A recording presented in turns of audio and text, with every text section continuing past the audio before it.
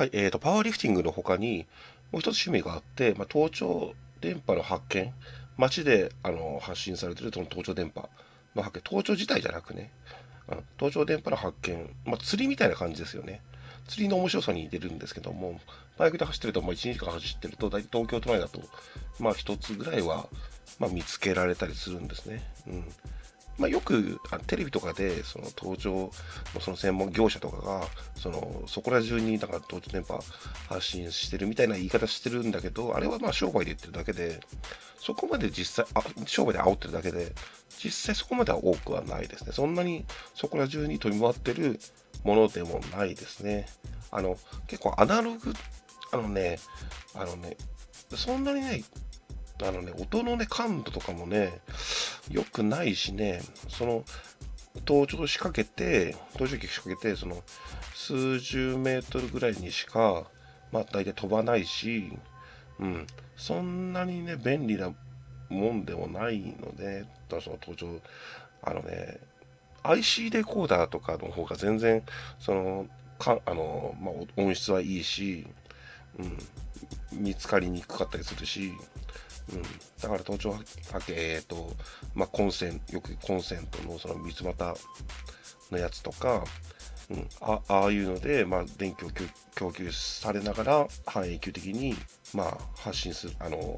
なんだ、音を拾うみたいな、ああいうのは、そんなにはないんですね。うん、でね、えっ、ー、とね、まあ、せっかくそういう趣味があるので、まあ、そういうコーナー、コーナーというか、そういう動画も撮っていこうと思って、それやってる人いないので、うん。で、そういう特技持ってる人もその少ないので、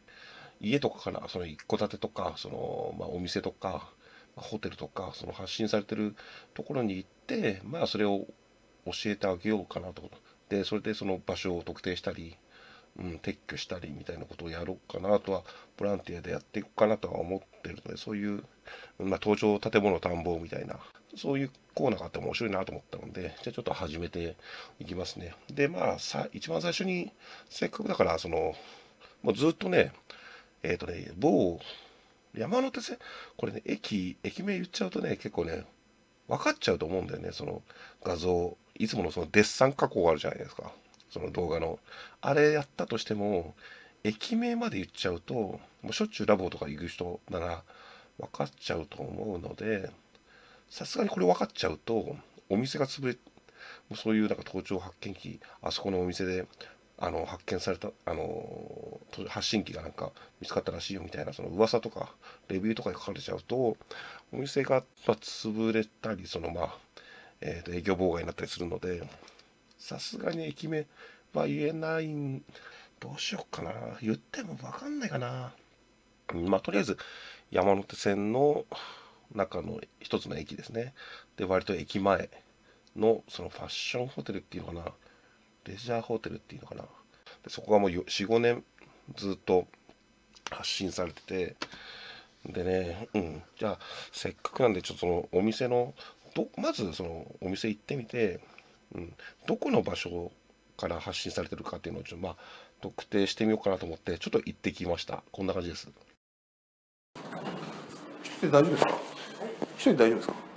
お一人だご宿泊泊まりあります？ねご宿泊は本日22時からになりますが休憩だとシャワーとか使ってもいいんですよね別に。まあ今お一人様でご利用いただけるお部屋のが空いてないので。空いてないですか、待っても開かないです。そ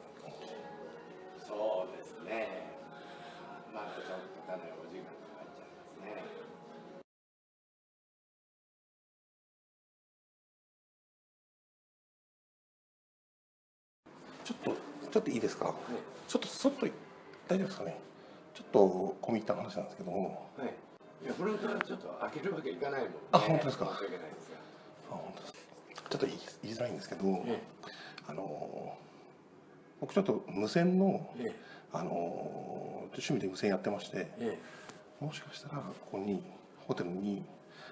盗聴電波っぽいのが発信出てるんですよねででええ。それ、まあ、もしよよろしければあのまあボランティアでやってるんでそれをちょっと撤去しますけども出てるんですよね。でもう何年もうん。4年45年ぐらい。でもしかしたらそのこの従業員の方がやってるかなと思って言わない方がいいのかなと思ってずっと黙ってたんですけども。従業員がそういうことをするスタッフはまずいないですね、でこれ結構問題広まっちゃうと 割と問題だと思うので一応小倉さんに確認してでもし僕、まあ、無料であのこれプロとかだったら多分何万円取ると思うんですけども一応この機械 あの発見器持ってるのでもしあれでしたらそのまあ僕ブログで登場のブログを書いてるんですけども、もしあれでしたら、うん、そのなんだ発見する様子だけ一応なんかあの動画で撮るといいんですけどもで,、うん、でこれ結構機械とかも発信機とかも結構割と何万もするもんなんでもしあれだったらこの機械に無料でこういう登場あの受信機とかコンセントタップ、発見機ですね。うん。で多分コンセントタップ系のお客さんが勝手に差し込んでやったか。もしかしたらコンセントの中か。どっちかなんですけどまあプロンタのでもあれですけどね。早いですけどね。早いって。まあ生もかかりますけどただ今もう満室満室なんですよね。今は、もしあれだったら朝とか人がいない時に来ますけども。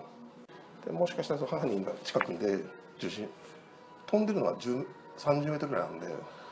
近くにいて受信してる可能性があるので、まあ、一応大きなお世話だと思いましたけども一応。あれだったら連絡先とか。いやまあまあまたお友達にいただいたえ時っていいんじゃないですかね。そのままで大丈夫ってことですか？ああ。じゃあもう全く必要ないとか、うん。じゅ今のとこ必要性ないですね。あじゃああの、まあ、一応念のために聞いてるんですけどじゃあプロとかにも依頼もしないそうコンセントなんかは定期的にあの電電電気屋があのコンセント不良が結構多いのでふ建物が古いんでうん。しょっちゅうただ中に入っちゃうと 中に入っちゃうと、うん。まあ、ちゃんとは探さないとないんで。まあそれもずっとうプロちのプロに頼みます？うんコンセントなんかを見てる？連中ですからあのちょっとでも違う。ただだだとするともう4年もあれでそのままってことはないですよね。一応 R ソナーっていう一発であのこれ音が鳴鳴るのでそれで一発で一応探せますけども不要ですかね。まああの来週にでもちょっとオーナー出てきた時にこういう話があるんだけれどっていうのを、うん。まあちょっとじゃあ一応連絡先って書いておいた方がいいですかね。そうですね。一応無料でやりますんで、ええなんかいまあ。ただけるのであれば、うん。まあ、こんな感じで、まあ、一応伝えときましたね。まあ、まあ、伝える必要も、まあ、本当はないじゃないんだけど、うん。まあ、俺一つも言われなかったしね。うん。で、うん。ななんかでもね、なんか、でもなんかそれを言わ、で、それを聞いて、割とその、まあ、初めて、初めてでもないか。まあ、初めてか。お店の人で、ちゃんとした登場で、大阪の時に、まあ、えっ、と、まあ、防犯の、防犯で発信機をわざとつけてる人には言ったこと、聞いたことあるけども、今回みたいなのは、あの、普通のホテルに、まあ、あの、発信機ついてますよって言ったのは初めてなんですけども、意外と悠長というか、結構だってそれが広まったら、割となんか死活問題というか、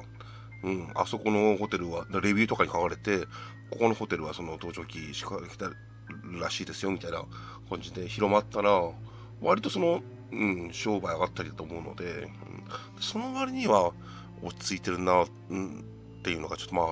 最初の印象ですね。もしかしたら、この人知ってるのかなと。うんで、で、まあ一応お店にはま電話番号を伝えといて、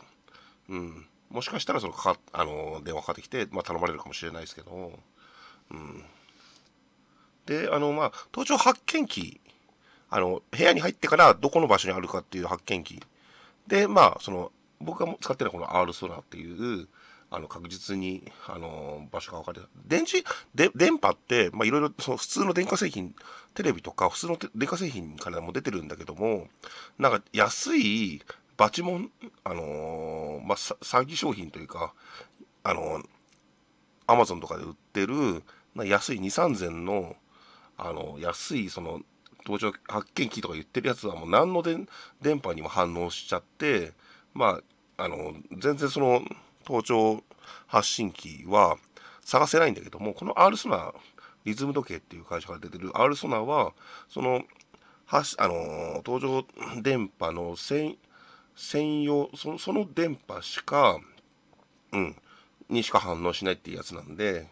うん、これあれば確実に、だだから自分の家とかにも、あの、まあ、不安な人は、これがあれば、まあ、探せるので、つっても、まあ、そんなめったにあるもんじゃないんですけどね、その、普通の家に盗聴、盗聴器が仕掛けられるなんていうのは。うん、で、まあ、えーと、このホテルに関しては、まあ、一応その、わ罠じゃないけども、一応これで、この人は、あの、なんだ、土日、週末は忙しいとか言ってたんで、それ金曜日に行ったんだけども、金曜日の夜行ったんだけども、ちょっと2日後の夜、忙しいはずのその2日後の夜にも、ちょっと自分が行ってみて、で、もしその、なんだ、発信機がないよ、もう発信されてないようだと、なんか、ぬい、うん、ば、自分、自分らで、まあ、その発信機を、あの、は、あの、除去した、除去っていうか排除したってことなんで、なので、さすがにそれは、その、忙しいはずなんで、場所が分かってないと、まあ、排除できないだろうってことで、もし自分たちでその撤去したんであれば、ちょっと、ここのホテル自体が怪しいですね。その、従業員が仕掛けた可能性があるっていうことで、それもまあ、後でま確認ちょっとしてみません。日曜日の夜ぐらいに行ってみて、うん。まあ、そんな感じで、まあ、今後も、まあ、このホテルに関しては、ちょっと、うん、監視していこうと思います。うんどんなに小さな声でもきっといつも聞いてるから。